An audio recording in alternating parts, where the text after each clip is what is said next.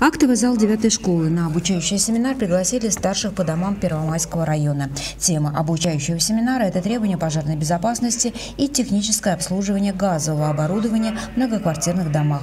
Приглашенные специалисты этих служб. Полезная информация, разъяснения, ответы на вопросы. Такие обучающие семинары в городе проводят ежемесячно.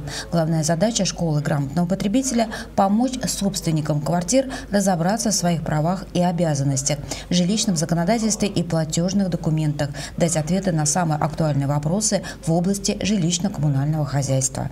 Мы стараемся э, разбить наши встречи по каждому району города. То есть сегодня у нас как бы встреча Первомайский район, неделю назад мы собирали в Западном районе.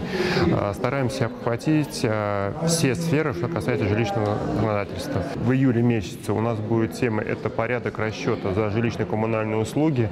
Э, планируется в том числе пригласить сотрудников администрации, ну если удастся, и э, Министерство ЖКХ. Практические знания, по мнению старших по домам, очень помогают им в работе.